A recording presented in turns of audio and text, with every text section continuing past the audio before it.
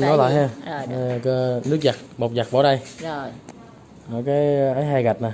Ừ. nước giặt bỏ đây. Thông thường giặt sơ mới chế chế bổ xà bông ở đây. Còn không giặt sơ thì khỏi bỏ. À, còn ờ, giặt com com phoi bỏ vô đây. Dạ. đóng lại. Mở nguồn ở lúc này. Tắt mở. À, tắt là không tắt nè ha. Giữ mấy giây. Đó tắt. Mở lên như vậy. Mở lên thì bấm cái là tắt. Bấm cái là mở chứ sau đó chị chọn chương trình giặt có hai bốn sáu tám một hai ba bốn năm sáu bảy. mười bốn chương trình giặt nha cô tông thường ngày anh bận cứ để cô tông. Không thì mình chọn qua giặt sấy luôn. Giặt sấy là biểu, biểu hiện của giặt sấy là cái ờ, biểu tượng này. Màu vàng tương ứng với cái chữ ở đây. Ví dụ mình chỉnh nè không được nó mặc định là giặt sấy. Còn ví dụ giặt 60 phút. 60 phút là không xay. không sấy mà chị muốn sấy thì bấm chế độ nè. Ngay chữ chế độ thì bấm vô nó hiện lên vậy là giặt có sấy thấy không? 6 tiếng 20 phút. 40 độ. Muốn chỉnh nhiệt độ thì bấm thêm. Chỉnh nhiệt độ nào vừa thôi. Vừa là mình chỉnh nó mặc định luôn À, rồi. mặc định luôn. mà muốn chỉnh á, mình chỉnh thêm. Số vòng dắt cũng chỉnh được luôn. Một ngàn hai trăm vòng ngàn vòng tùy mình ha. Còn giặt không sấy bấm vô chỉ sấy thôi không giặt. Đó cái nút này rất là quan trọng ha. Sấy thôi không giặt. không, không giặt là mình mình vẫn để bên này y vậy ha dạ đúng rồi. lại từ đầu. vấn đề như vậy. Rồi cái này giặt nè giặt không sấy nè. Đó. Bức sấy khô ví dụ bấm giặt sấy nè. À, bức sấy khô nè. Trung bình nè. Yếu nè ha. Trung bình nè. Nó mình chỉ bấm vô cái chữ mức sấy khô á. À, nó có để cái khung nè bấm cái nữa là nó bích khung luôn là nó sấy khô dữ sấy khô mạnh nhất. Rồi bấm cái nữa là sấy khô yếu nè. Vậy sấy khô rồi mạnh nè. Sấy khô mạnh nhất nè. Thấy không? Thời gian sấy khô. 10 phút.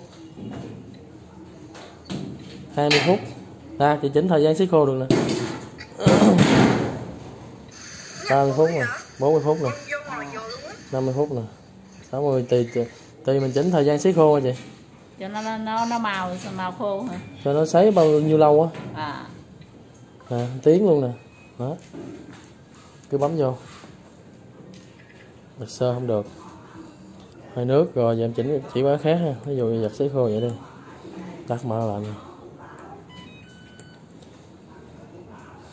Là mình dặn gì là nước vô kiểu dạng cũng như là tới có nước là mình xả cái dòi ra là mình giặt đó phải không? Dạ đúng rồi vô qua chế độ độ hỗn hợp đi à, độ hỗn hợp ở đây.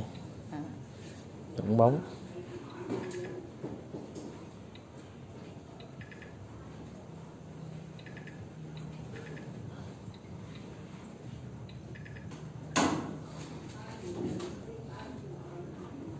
Cảm biến giặt sensor watt nè. Sensor watt này làm cho cái đồ mà nó sạch hơn rồi chị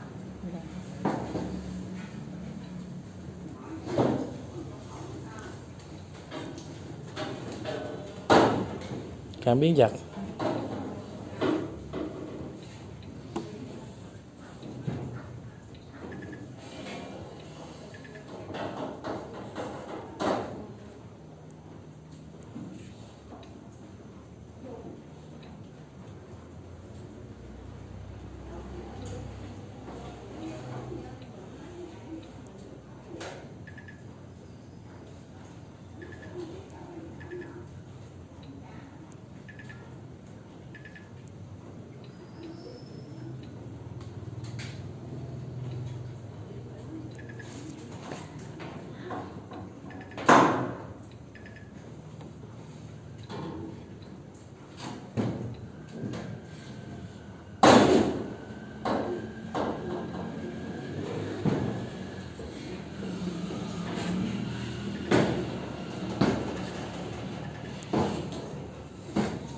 rồi tắt làm. Lại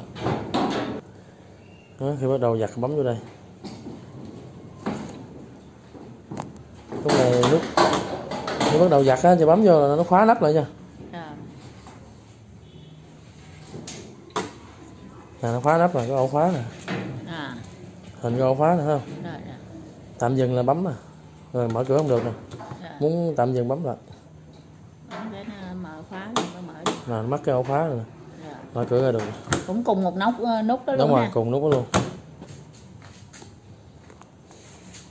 Còn dưới đây thì để xả cặn được. Khi nào mà máy mình nó cúp điện mà còn nước trong đây mình xả À. cặn ha. À. dặn ngược chiều kim đồng hồ là xả cặn nè còn này xả nước nè bóp nha dặn ngược lại là xả nước xả cặn lâu năm á. À.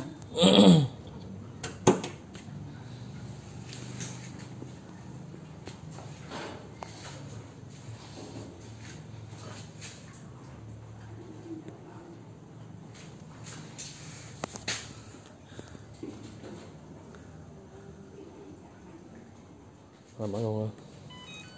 Để mà giặt được hơi nước á, chị chỉnh xuống chế độ tiết kiệm nè. Ha, chỉnh nè. Đây, nghe mấy nè. Qua tiết kiệm bấm vô hơi nước. Nó hiện lên nè. Là nó cảm ứng là giặt hơi nước ha. Công tắc hay tắt giặt sơ cộng giặt hơi nước. Đó, mình muốn chọn sao mình chọn ha. Giặt hơi nước là chọn bóng á con bóng nó đánh sâu vô cái sợi vải mình, nó làm sạch hơn. Em bấm khởi động lại giặt thôi. Đây rồi